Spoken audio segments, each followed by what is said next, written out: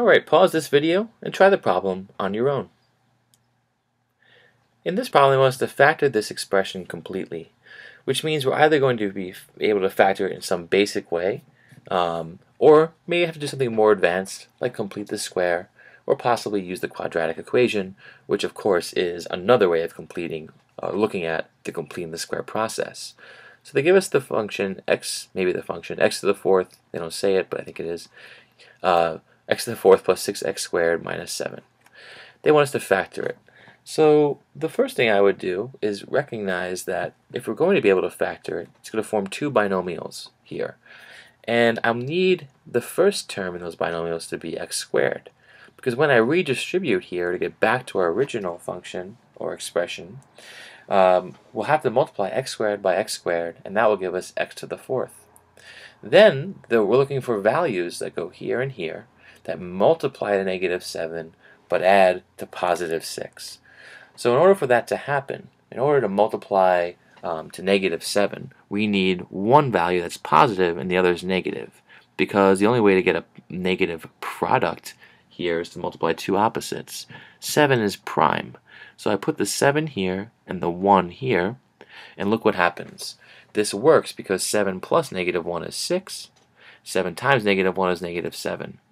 And now we are going to factor further, but let me just show you why we have to find two numbers that multiply a negative 7 and add to 6. In this factored form, for you to redistribute, you would do x times x squared, x to the fourth. Then you would do x times negative 1, which is negative x squared. 7 times x squared is 7x squared. And then 7 times negative 1 is negative 7. So what just happened? We multiplied these two numbers here. So that product gave us negative 7. So we had to find two numbers that multiply a negative 7. Then, when we multiplied x squared by negative 1, we got negative x squared. And multiplied 7 by x squared, we get positive 7x squared. So now we have to combine these two, which gives us 6x squared. So we have to add these two numbers as well. And when we add them, we're really adding this number 7, which goes here, and this number negative 1, the coefficient, which goes here. So we have to add those two. So not only do the numbers have to multiply negative 7, but they must add to positive 6.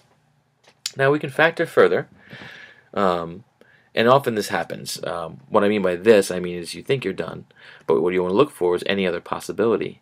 In this case, we have the difference of two squares, which is right here.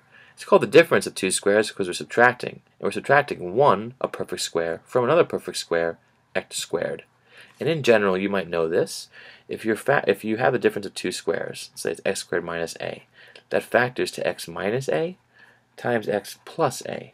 Right? This is a great thing to be able to recognize. So here, x squared plus 7, can't touch that.